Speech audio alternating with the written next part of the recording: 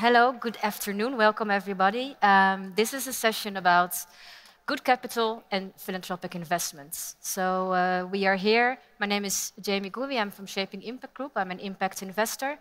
We have four great panelists, and we will also listen to Sir Ronald Cohen, who will appear on screen a bit later on. Um, so thank you all for being here. I want to start with introducing the panelists, left and right from my side. Janka first, Janka Petot, from the European Commission, Directorate General for Economic and Financial Affairs, um, and you are concerning yourself with repayable financial instruments, and you work with InvestEU.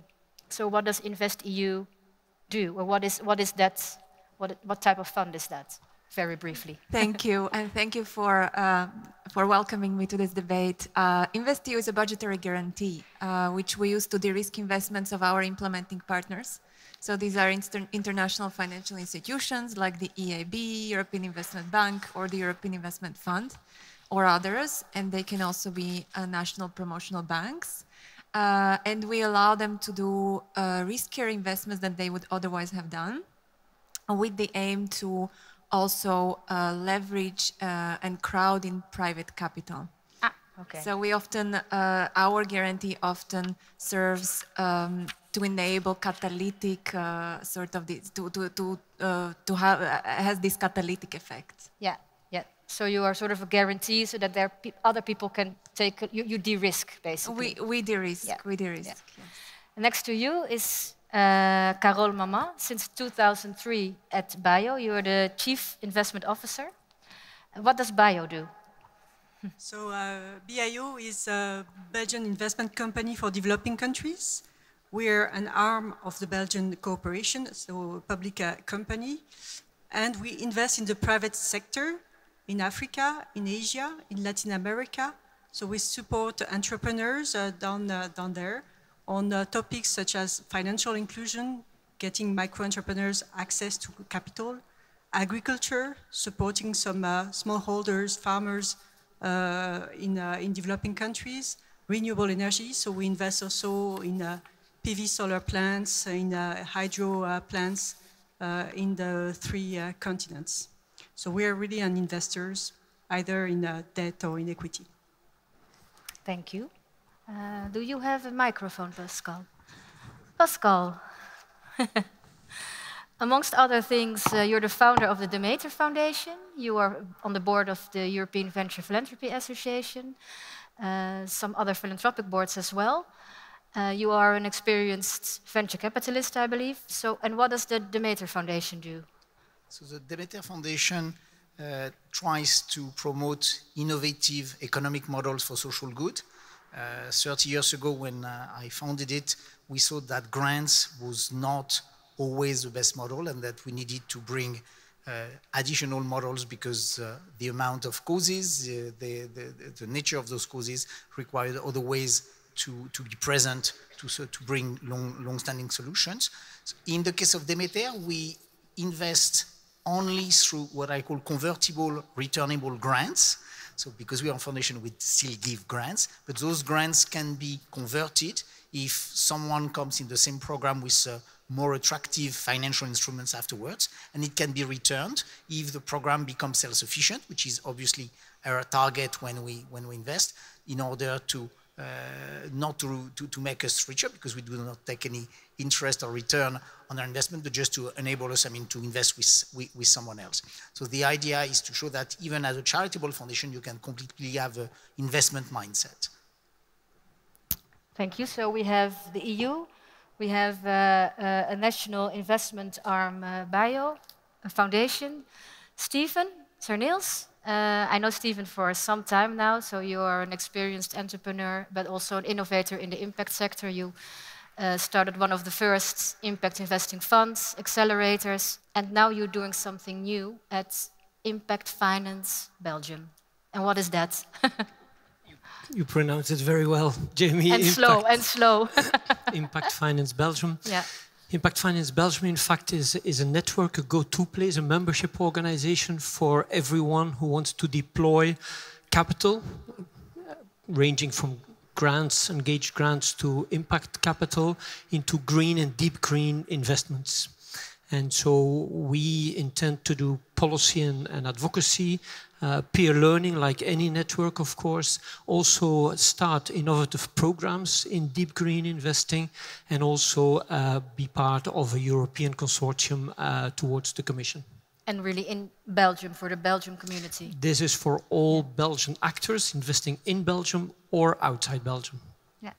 And, and the session is called Good Capital. So what does that mean to you? Yeah. Good capital. Yeah, yeah. I was thinking about this question, Jamie, and I thought this is a one million dollar question. It's like asking what's a good human. So we can we can talk about that later. You can talk about yeah. So take my answer with a pinch of salt. Okay. Uh, but I, I always, if I think about good capital, I start to reflect what would I not classify as good capital, and there are a lot of philanthropists here in the room. I think giving is great and we have to continue doing that, but only giving because it creates a good feeling, I think it's not good enough. We have to go beyond that. At the other extreme, you have investors, a financial world, where the purpose of finance is more finance. I don't call that good capital either. So somewhere in between those two, I think is, is, is good capital. And to make it a bit more concrete, um, at least I think there might be more, but two characteristics I always try to check. The first is that if you talk about good capital, there should be an intentional, upfront, concrete engagement towards a goal of prosperous people, planet, and so on and so forth. So upfront, not after the facts. And second, you should hold yourself accountable. You should make sure that while you invest, after the investment, you also reflect whether you got where you wanted to go. So these are two characteristics. There are different types of good capital. Donations can be very good capital, but I think donations, as I said before, they have to go to that additional step of defining what's going to be my result. And we get more sophisticated, so I'm positive about that. Sophisticated if you're working in a small uh, social enterprise and you guide non-accompanied minor kids, refugees, then it's not good enough to count the number of kids you educate. You want to make sure they integrate back into society. So defining impact, we're on a learning journey. At the other end, on the financial side, I see a lot of people investing with good intentions, but the acid test is when the financial returns is under pressure, they try to or they tend to put away the impact and they go for the financial return. So when do you give in on your impact for your financial return? So that's not really in the core and the heart. So let me stop by saying that I think that there's not one type of good capital and the future is truly where different types of good capital start to collaborate to accelerate impact for people and planet. Good answer, thank you. Yeah? Yeah, I think so. And and well, voila. Uh, Janka, you've been walking around, I think, today in the conference already. What is, what is your take on, on good capital? So how do you see that? I, I fully agree with Stephen that it's a $1 million question. Uh, but I have been thinking about that as well. And I think this question could be approached from so many angles. And also it has so many layers that could be peeled off like an onion, you know. Um, for instance, um, would good capital be considered simply capital which is invested, deployed in a legal way that doesn't do anything illegal? I think we would all agree here in the room that that's maybe a little bit low on the ambition side. Mm -hmm. uh, would good capital be considered capital that doesn't do harm? Yeah. And then how do we define harm? And we have, um, at also European Commission level, defined the harm, for instance, for uh, green, uh, so sort of environmental and climate-related uh, uh, aspects. But then there are so many aspects that uh, where harm could be caused. So, um, and again, is it enough if an investment simply doesn't do harm? Is it already what could be considered good capital? Maybe if everywhere in the world all of our capital whether private or public or you know from any source, would simply not cause harm, that would already be a huge, huge step forward. But that would be do no harm capital. That would be do no harm capital, Yeah. but maybe that we could consider already good capital. Mm-hmm. And then finally, I think what most of us here in the room have, you know, a thought of when we heard good capital first, capital that actually tries to create impact and positive impact. Um, and here the question would be how do we measure that impact, as Stephen Yeah. mentioned as well. And we will have an intervention later by Sir Ronald Cohen, as you said, which I'm looking forward to myself because I'm not an expert on the matter either. Uh, so uh, he certainly is. Uh, so, so that would be very, very interesting to consider in this context. Um, of course, uh, we could also consider other aspects of good capital. How is good capital deployed? It could be, and again, I think there is a sliding scale. A good capital could be deployed in a very fast way, um, very flexibly, if needed. For instance, we saw it uh, with the recent pandemic. Yeah. Huge amounts of capital were deployed, good capital for a good cause, uh, were deployed extremely fast. On the other hand, on the, the, the other end of the scale, we also need long-term patient capital that spans, for instance, multiple, uh, you know, electoral uh, cycles and, and so on to actually support systemic change. So this is also something to consider. And well, where can good capital come from? Again, I think the first thing we would all think about here uh, in the room, philanthropy. Philanthropy is, of course, a very good source of good capital, but I would argue good capital could come from anywhere. Yeah. And in particular, from the public sector, it should be also considered good capital, deployed efficiently, and so on. So these are all all aspects that that we could consider. And finally, for me, uh, in order for good capital to have a very strong impact, it should somehow the different sources of capital should somehow be combined and should somehow work together between the public sector, the, the sort of the sources from the public sector, from the private sector, from philanthropy, to leverage each other, to, to support each other, to test innovative um, solutions which could later be scaled up and so on. And so it's it's basically quite complex. So you can look at so many angles. Uh, you go Uh, down a rabbit hole of definitions. Exactly, exactly. Uh, mm, so, so I would say we could discuss it for uh, for a long time, uh, but in the end, um, indeed, if we feel like the like good capital is not harming, is on top of it doing something good, and there is a, a pretty good chance that we can even men- measure that impact. That's already for me a very good uh, definition of good capital. Okay, thank you. I want to go briefly to uh, Carol, also to Pascal. Maybe you can both think about the question what do you want this audience to walk away with after our session today? So, what is the message you'd like to get across? Well, the first thing, uh, maybe uh, just a small word on, on good capital for us. And that's uh, in terms of intent, that's also capital that follow uh, the alphabet of uh, SDGs, Sustainable Development Goals, a world uh, without poverty, a world where people uh, can eat uh, and have water, have energy, and a world where there is a partnership also between all, all players, all investors. So what I would like you to, uh, to the message that I would like you to, uh, to take away is that uh, collaboration in, for development is essential.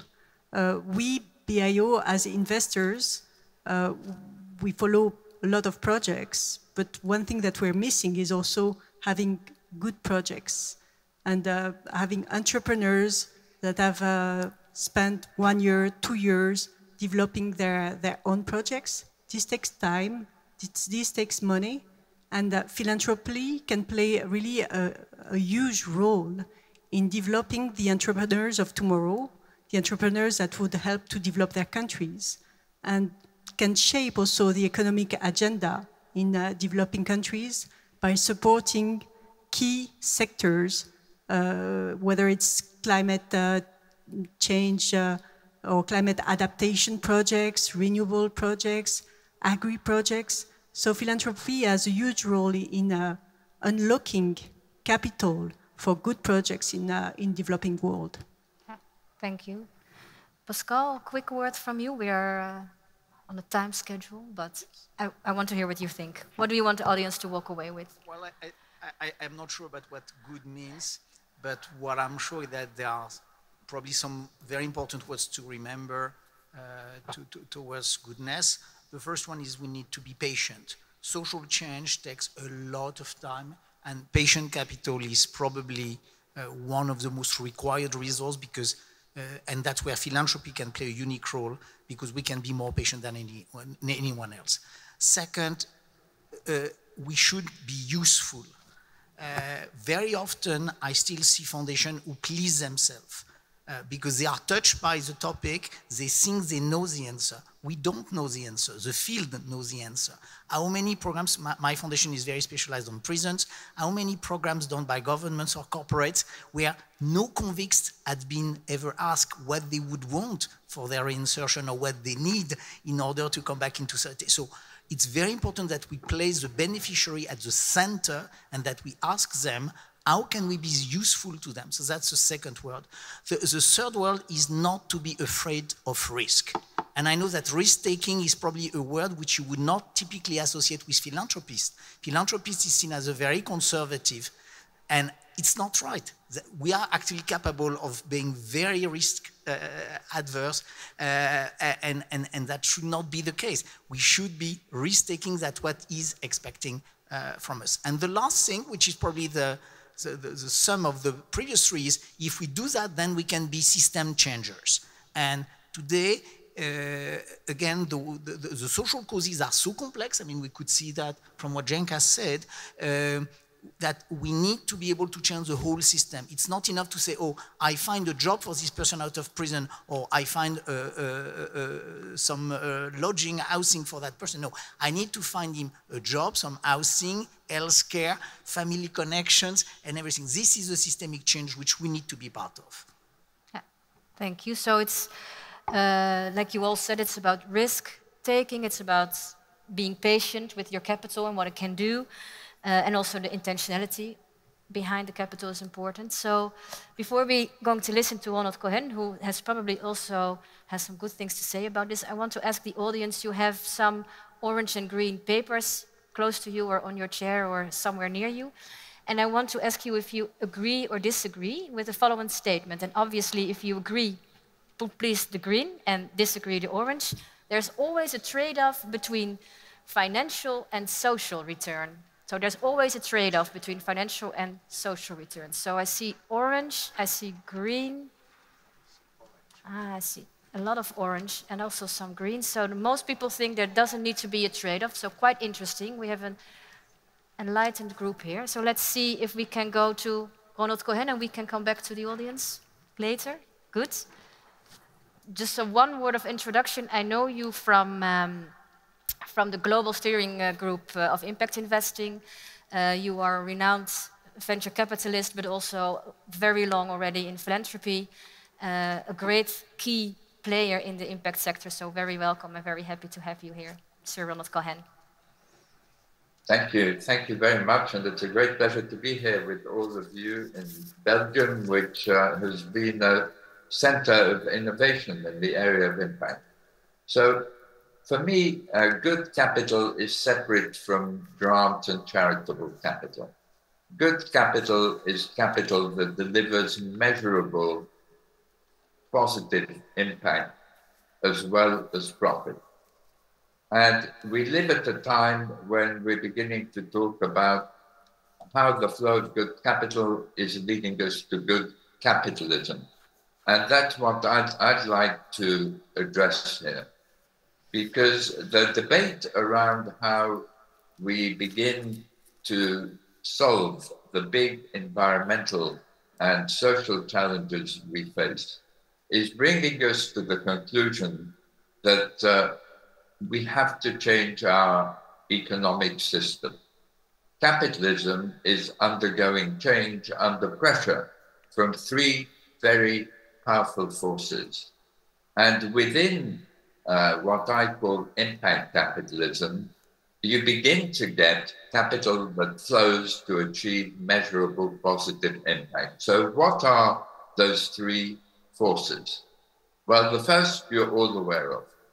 It's the force of changing values.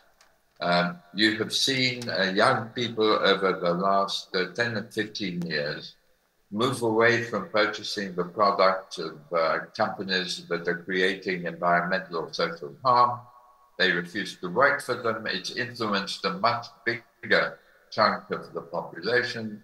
And it has been noticed by investors who are now channeling $40 trillion to environmental, social, and governance investment, which seeks to deliver impact as well as profit. When I chaired the G8 Social Impact Investment Task Force, um, nearly 10 years ago now, uh, the amount of ESG capital around was just 13 trillion. So we have seen a trebling over a decade.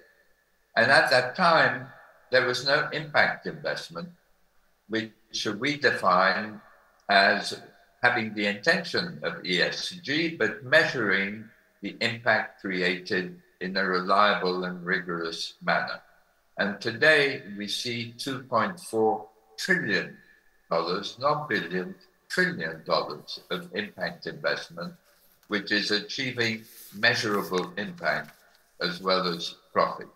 Just over the last uh, three, four years, we've seen the growth of a completely unexpected part of the bond market, inspired by the invention of the total impact bond uh, which uh, Belgium has uh, harnessed and which I'm proud to have played a role in, in inventing in the form of sustainability linked bonds and loans, where a company borrows money and reduces its cost of capital if it achieves certain uh, targets, environmental or social, uh, that have been pre agreed with investors.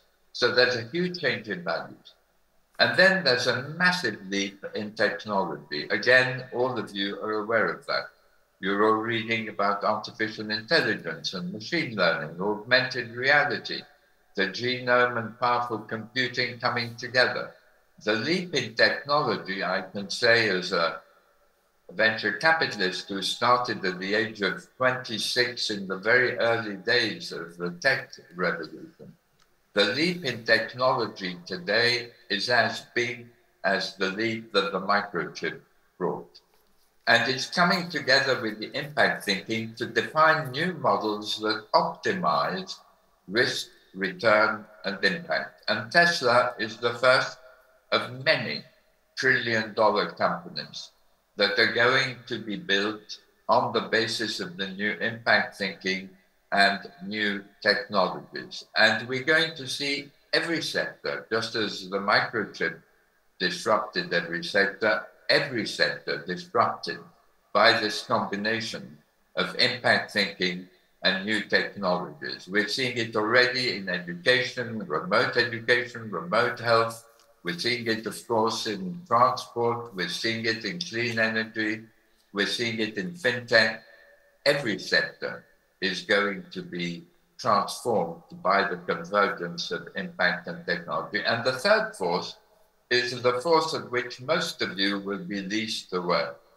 And that is that these new technologies enable us to measure in a granular way the impacts that companies create so that we can look and turn into monetary terms the environmental impacts of companies, the work at Harvard Business School, which I've been proud to chair, the Impact Weighted Accounts Initiative, open source, we can all access the data sets and the reports, enables you to have insights we could never have before.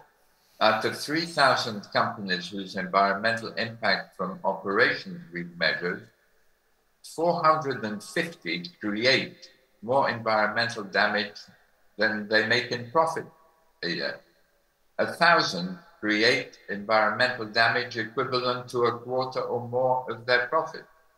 Similarly, if you look at the social impact of a company and you measure diversity, And the diversity cost to a community you count as the remuneration that that uh, community foregoes because its members, gender or ethnic uh, community members are excluded, you can see that Amazon's diversity debit is uh, six and a half billion a year versus Apple at two and a half billion a year.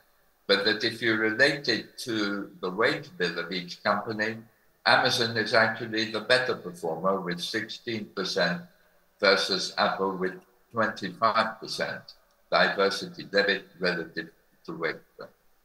And this month, the Securities Exchange Commission, which regulates the financial markets in the United States, is proposing the mandatory disclosure of all environmental impacts created by every company. We've never had that with capitalism before. The ISSB, led by Manuel Faber, the former CEO of Danone, which covers accounting in the whole world apart from the US, is standardizing social and environmental impact. And the EU, as you all know, has already imposed a level of transparency through its taxonomy, through categorization, on the impacts that investment vehicles create. So the world is moving in the direction of impact accounting. And my prediction is that within the next three to five years, we're going to see many companies publishing impact statements which show their revenues, their costs, and their impact. And so I'll close by saying that the good capital then will be the capital that flows within our economies to create measurable positive impact and bring solutions to the great challenges we face while optimizing that impact with the return and the risk that investment involves. Thank you so much. Thank you, Sir Ronald Cohen. Um, so the forces that we're seeing uh, today, that's what Ronald Cohen is talking about. So are there any questions for Sir Ronald Cohen? Could I ask a question to yeah. uh, yes, yes, for sure. Ronald Cohen? Thank you very much for your very nice speech. Uh, there was one thing that was striking me, uh, what you said in your introduction, where you defined good capital as capital that provides an impact and a profit. Would you consider also certain parts of uh, grants and, and, and engaged uh, donations also as good capital, or do you see this as outside the system? I, I don't see it as capital. When capital implies investment, money can be in the form of grants, and philanthropy is total impact money, if you like. But I like to think that we have to go, as you said, Stephen, in your own comments, we have to go beyond giving money away to solve problems if we want to meet the great challenges we face. And therefore, for me, capital is investment capital. Capital that can be recycled in the way that you were saying, uh, that harnesses entrepreneurship and innovation to solve the big issues that uh, we face, that is going into climate change, new forms of energy like hydrogen, carbon capture, and, uh, and so on. So I like to make a distinction between grant money and investment capital. Thank you. Thank you. There's a question in the audience. Ah, there's a, a microphone coming. My name is uh, Dave Bircher, um, and I, am actually from a, an NGO based here in, in Belgium. But I'm wondering, in terms of the conversation around good capital, there's been so much that's happened over the last few years um, that's coincided with a huge rise in, um, in the markets. And so there's been so much capital to be used and deployed. And I'm wondering, as the market becomes tighter and is squeezed, what are the risks for good capital? And what are the people with capital able to do to make sure that good capital is protected and deployed? cyclical downturn in, in finance and in business, it tends to slow things down. And in the case of the, the environmental effort, for example, the closer we get to transparency on environmental impact, the more the companies that feel threatened by this transparency push back. And that's what we're going through at the moment. We're going through both these effects, except that the environmental threat keeps mounting. And so governments in many places uh, are becoming more aware of the fact that there are sources of capital in the trillions, as we were saying, that they can use to supplement their social and their environmental budgets. There's also an unexpected consequence from the Russia uh, Ukraine war. It's pushing everyone to think in terms of self sufficiency in energy. But self sufficiency in energy cannot mean fossil fuel only. Germany does not have access to fossil fuel, most countries don't. And therefore, we're going to see a huge amount of money and technology and human resources going to define new sources of, of energy, which uh, can be uh, created and used right across the world. So you have these counter currents, and we have to distinguish between the cycle and the trend. The trend is to capitalism shifting our economies to generate solutions.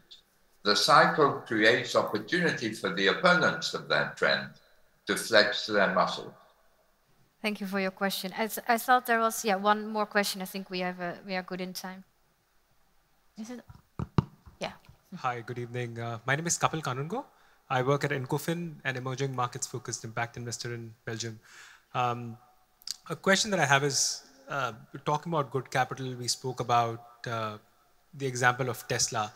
Now, um, I'm on the fence when it comes to companies uh, such as Tesla because while there is definitely a positive environmental impact, uh, should good capital not go beyond and also think about targeting uh, either the poorest or the most vulnerable because uh, no matter how great cars Tesla makes, they can still only be afforded by, say, the top one or 2% of the world. Thank you. Yeah, thank you. Totally, totally. And I think um, Tesla has uh, been used as an example of optimizing risk and return and impact in the environmental area. And there are questions there because we don't measure all of the environmental impacts that Tesla creates. And you will have read a lot about how much uh, environmental damage may be caused uh, by the, the, the, production of uh, Tesla batteries, uh, for example, for its cars. But the transparency will come to encompass every aspect, including the supply chain of companies like Tesla. But if you look at the social dimension. Uh, the social dimension has not had, as you pointed out, uh, the same attention as the environmental one.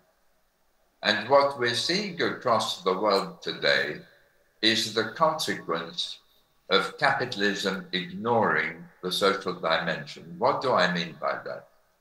The huge gap between rich and poor, which has expanded over the last three or four decades to get to uh, a peak uh, today, similar to the situation before the 1929 crash.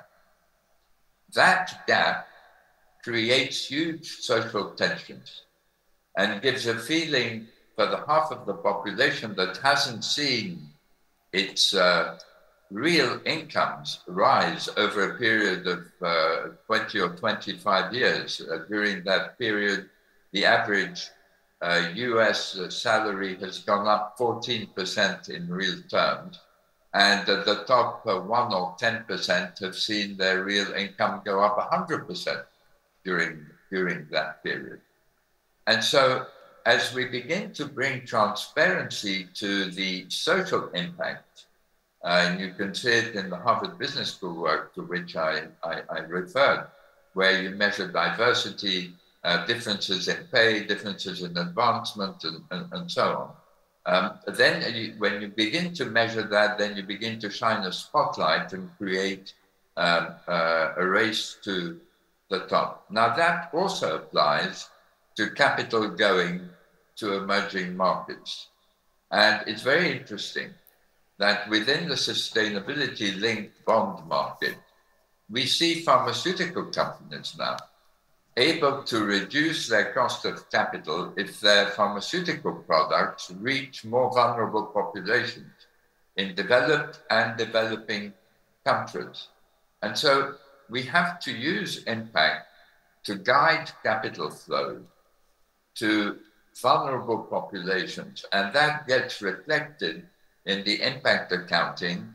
And when you have an impact statement that says your revenues, your costs, and your impact, your operational impact on the environment, and your human impact uh, through your employment on uh, people, and your product and your supply chain impacts on people and the environment will all be expressed in monetary terms. And a company which sells its products to more vulnerable populations will see in its impact statement a boost in the impact that it uh, delivers. Thank you, Sir Ronald Cohen. Maybe we can give him a round of applause. Thank you very much. And I, I wish you well with your discussions. I'm sorry that I can't stay till the end of your panel. No, I hope to see you soon. Thank you. Thank you, Thank yes. you everyone. Thank you. Good night. Um, just going back to the question we, we asked um, the audience. So many orange ones, so people saying, uh, no, there doesn't need to be a trade-off, some green ones. Is anyone who put up a green uh, paper wants to comment on why, why you feel there's always a trade-off? I don't know exactly who it was. Maybe, yeah, yeah, over there, there in the corner. Thank you very much. Uh, John van Wijsbergen, Hefboom, Belgian organization doing uh, financing of social and durable organizations. Um, the question is a, is a really important one because um, quite often a lot of commercial banks advertise their sustainable investments as being um, just as profitable or maybe even more profitable than their regular business. And they wave with studies and things like that. But basically, in the end, if we go for maximum uh, impact, maximum societal impact, we should be aware that there is a trade-off with the financial aspect. There will always be a trade-off. Or at least we have to be honest that in the majority of cases, there will be a trade-off. Um, why do we quite often want to, want to make it uh, appear more interesting than it actually is? We have to be realistic that if you want maximum societal impact, that you actually have to be realistic about what your financial returns will be. And if you want to promise big uh, financial returns, that, that you will have to draw away from the societal impacts. Would be nice to hear your views on that. Yeah, thank you so much. I will go to the panel later. So there's always a trade-off. You, you have to be realistic, you're saying. So is anyone with the orange paper wants to say something? Someone who's, yeah, there's someone on the other side. Yeah. My name is Paul Boysens. I'm, um, I'm working for Incofin um, we impact investors. I think there is a nuance. That word always or sometimes that that's that's an important one. I think so what we do, we impact we invest for impact. Mm -hmm. And we will always make sure that we have impact. In certain cases, in markets that are not mature, the returns will be lower. The financial returns. The financial returns will be lower. In other cases, in mature markets, the, the returns, the financial returns will be um, at par with, um, with, with other investments. I think there is, there, is, there is a scale and there are investments needed in all those categories. But John, I agree with you, in certain categories, it is extremely important to target a low return. Yeah, and to be realistic about it. Maybe think. Oh, good, good, good. Thank you. Um, Stephen, what do you think about uh, this statement? I very, much, very much like your approach, Paul. I've been struggling with these questions uh, for, for ages, but I think since five, six, seven years, we've become smarter and more sophisticated in the positive sense of the word. So I think the question itself is irrelevant for a couple of reasons. First of all, it's very contextual, as you say. Sometimes in hard to get uh, areas, in certain social challenges where we're immature, preventive health, we're moving there. Yes, you need constructions where philanthropic capital and commercial capital, and I kind of balance out a little bit in order to accommodate uh, the impact you want to create. In certain areas, there is no financial return at all. In my example of non-accompanied minors, don't go for a financial return. It's a public good. You have to do this for those kids coming from Syria, uh, Pakistan, and so on and so forth. But whoever would have been thinking that six, seven years ago, renewable energy would on the financial return level be at par or even outperforming other investments. So it's contextual, it depends on the life cycle, and it depends on the social challenge and the market you address. And that's what I like very much. If we get sophisticated, we can upfront try to target the right balance, not a trade-off. Thank you. Carol, there's people that say, yeah, if you invest in Africa, there's no trade-off because everything you do there it sort of benefits uh, people and, and environment, etc. So how do you how do you look at that? I think there is a trade-off. When you invest in the developing countries, in very risky sectors, and you try to be innovative in what you do, then you need to accept the fact that you might lose money.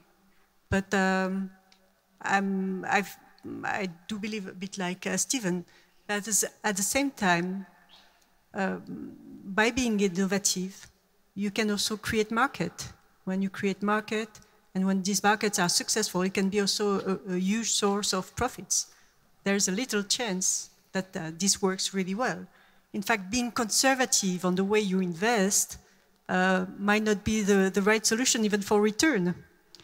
Because if you're investing in uh, assets, for instance, uh, uh, oil assets that become stranded in 10 years because we will uh, all have needed to, to, to shift to another source of energy, then you, at first you can think that you're making a good investment, and eventually, in fact, you're just getting to the wrong direction.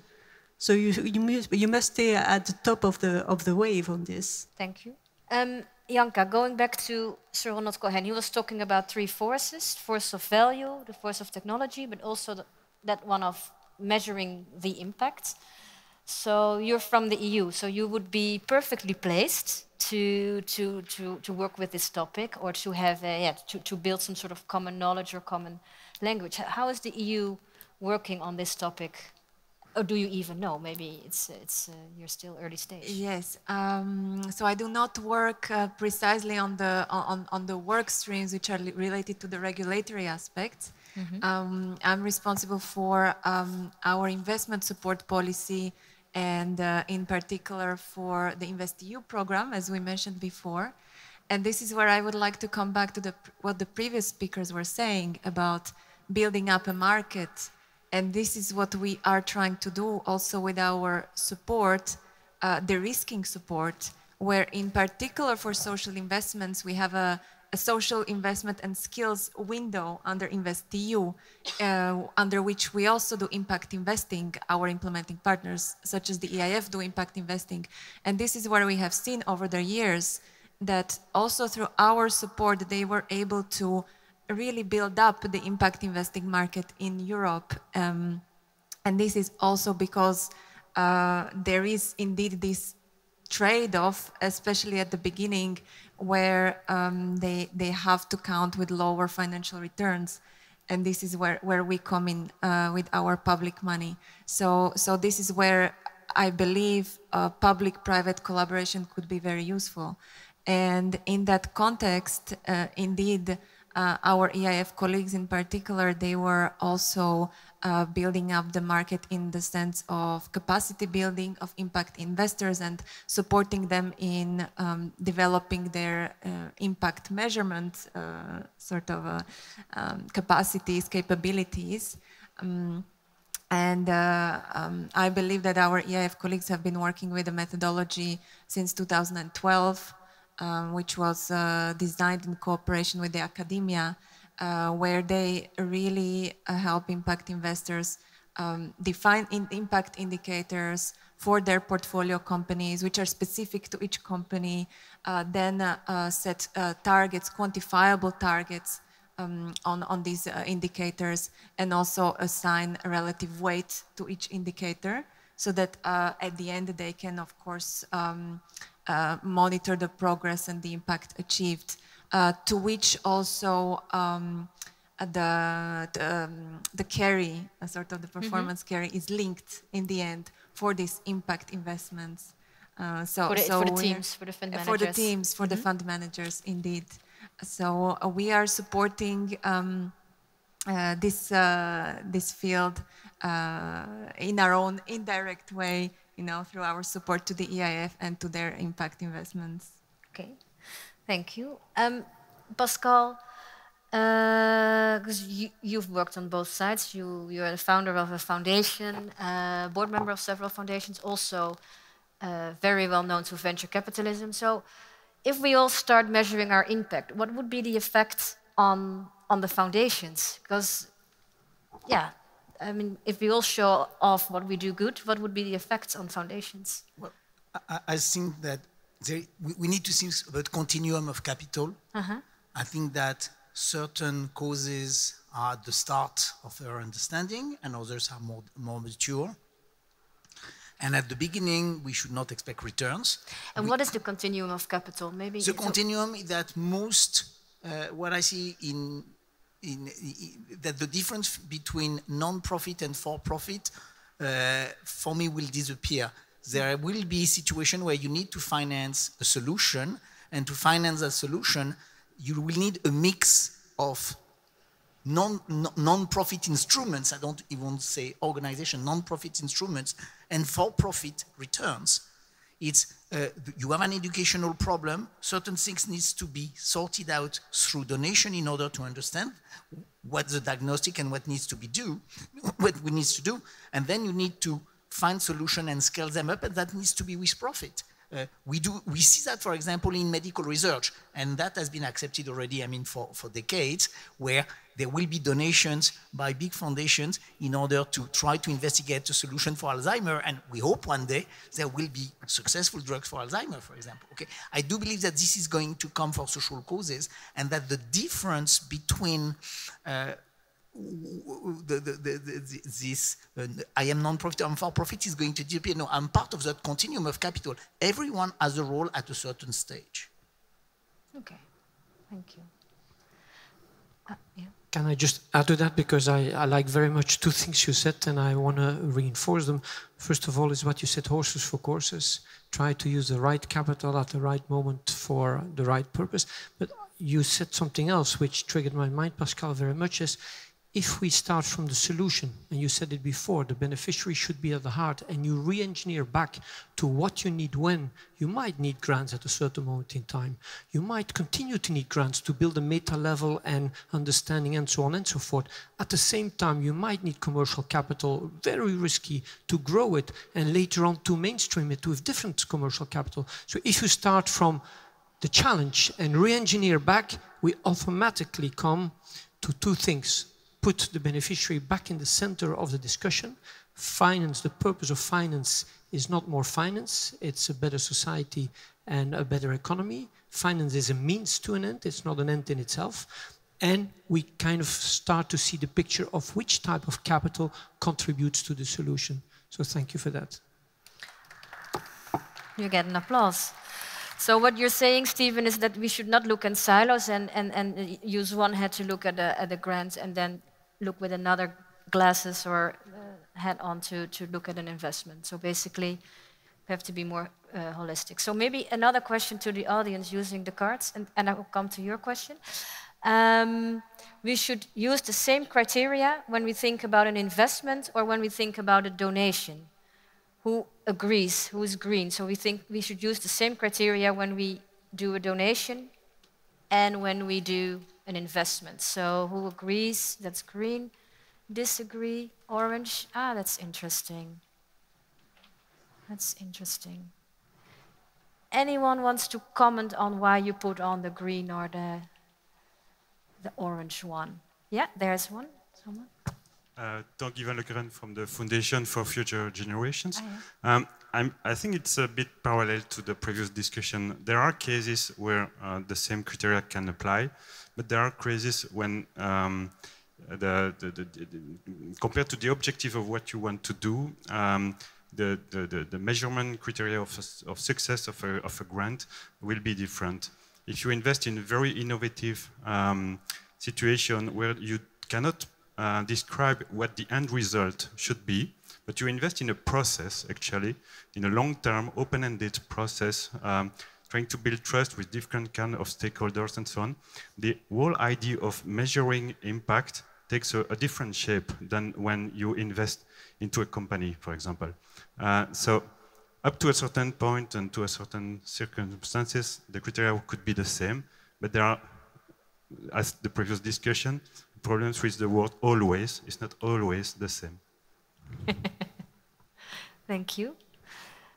Carol, maybe you want to, what's, what's your reflection on, on the question?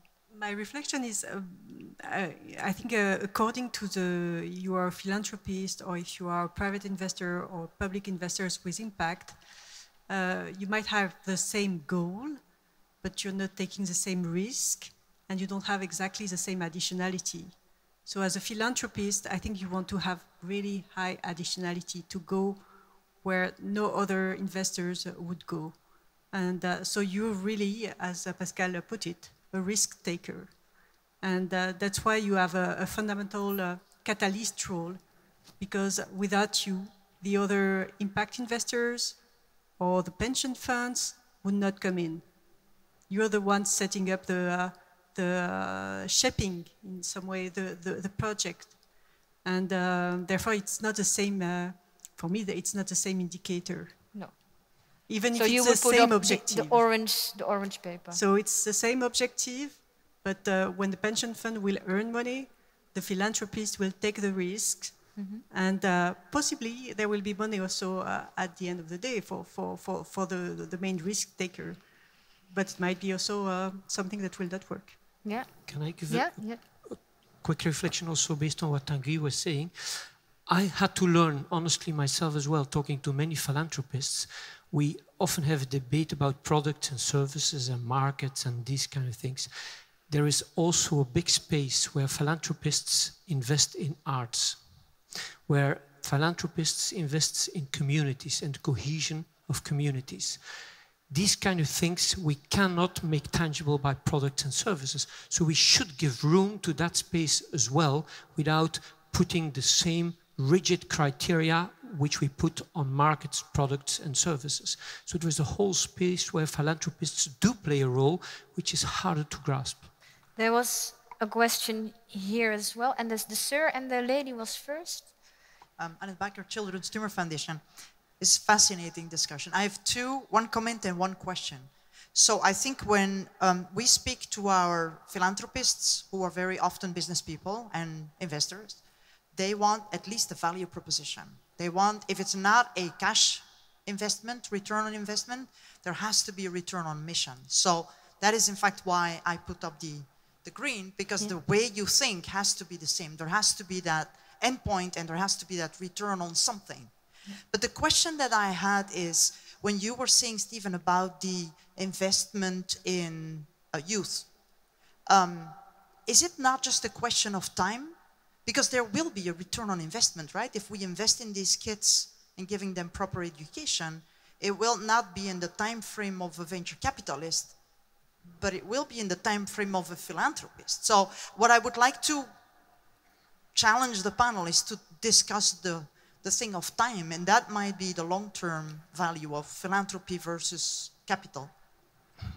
It depends a bit on your exit strategy. If you think that where you're investing, in the end, the market will take over, you're right. Because then there should be a tangible kind of return, uh, and in the beginning, no financial return, in the future, yes, a financial return. If your exit is a public good, then there's never going to be a financial return as such. Then it's going to be adopted by a policy. It's going to be adopted slavery. Can you calculate the cost and so on and so forth on slavery? There were economists at that time who said if we abolish slavery, the economy will collapse. But there is more than just this transactional return, societal return or financial return. So I've learned through the years that there are also public goods and values we have to invest, which is harder to get, even on a long-term time frame, a concrete return. Thank you. You want to add something?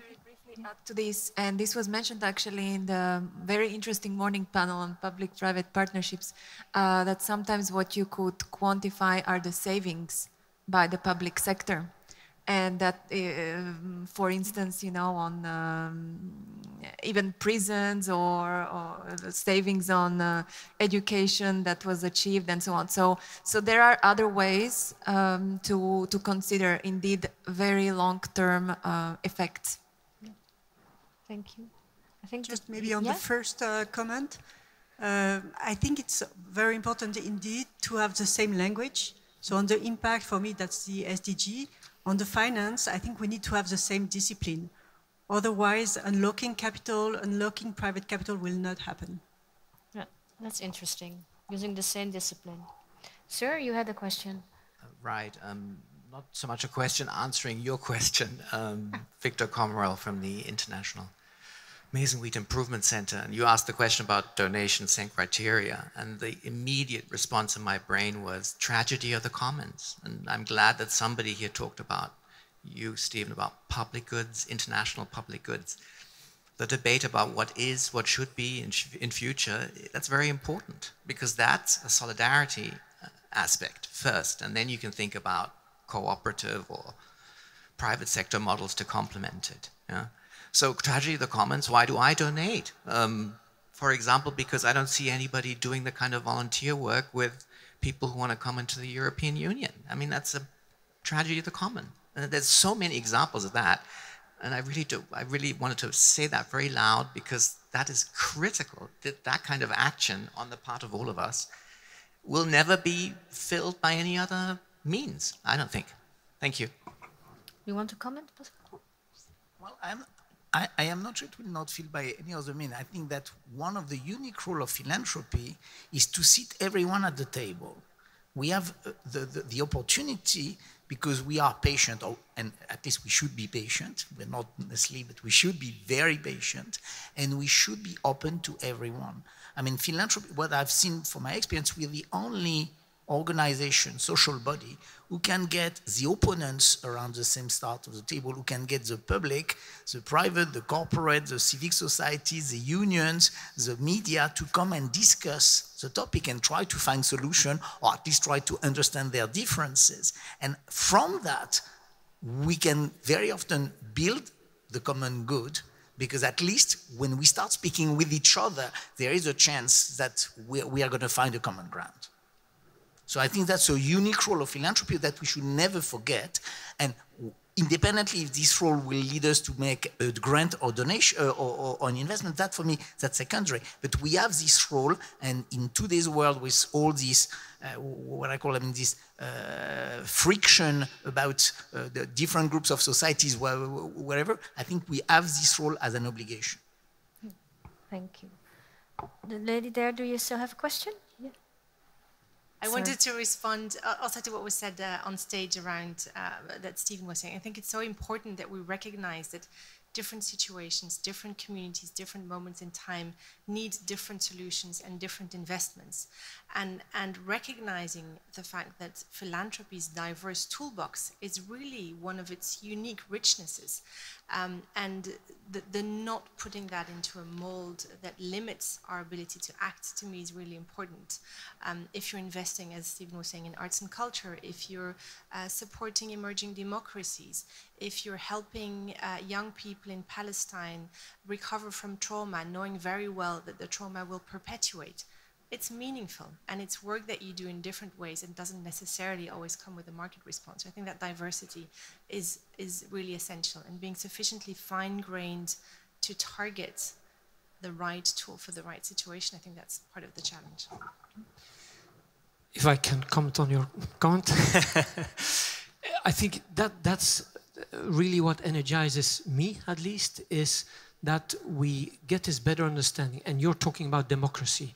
It's pretty clear that we don't want commercial parties to enter democracy, right? So democracy should be a common good where, of course, there should be a theory of change. Yes, there should be a result. Yes, we should close the gap between politicians and citizens. So, yes, of course, there should be a reasoning. It doesn't mean that commercial parties should enter this space. So that, that's one thing. The second thing I'd like to say is we haven't seen the end of our innovation. Because sometimes we think press. Should press be a public good, yes or no? We've seen that press under pressure in Eastern uh, Europe now is tackled by Pluralis. Max, you know very well Pluralis, where a foundation with a first loss capital and commercial capital come together to accelerate free press. So we should not get back to our old ideas, okay, this is public, this is private.